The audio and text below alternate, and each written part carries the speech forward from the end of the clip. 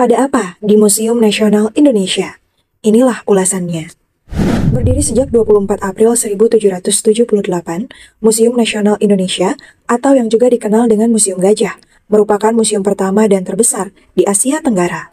Museum ini merupakan museum arkeologi, sejarah, etnografi, dan geografi yang terletak di Jalan Medan Merdeka Barat, nomor 12 Jakarta Pusat. Terdapat benda-benda kuno dari seluruh Nusantara, termasuk arca, prasasti, dan barang-barang kerajinan. Ada pula keramik, tekstil, numismatik hingga relik sejarah dan buku langka.